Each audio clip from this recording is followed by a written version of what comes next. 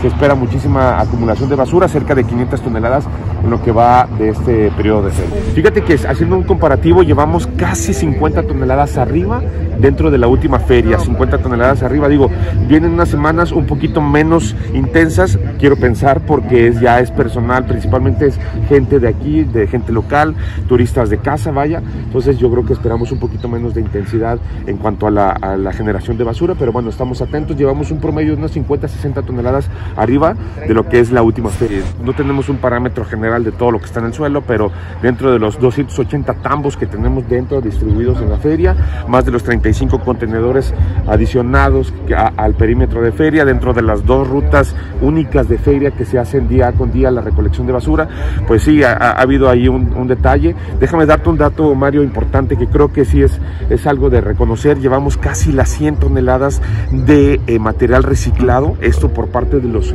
mismos negocios, por parte de las mismas empresas, restaurantes. Me, me da mucho gusto ver cómo ya están sacando su basura, lo que es el PET, el plástico, el aluminio, el cartón, el papel, separado completamente y se está haciendo la recolección. Eso es, es algo de reconocer y sobre todo de agradecerle a las diferentes empresas.